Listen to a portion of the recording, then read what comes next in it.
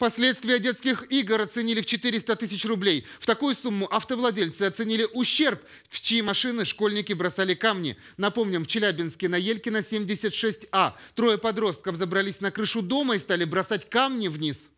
Это вы кидали? Вот ты кидаешь, гонишь, Куда ты кидаешь? Там. Вон кинули камень. Ну, тачку мы покрывало забрали.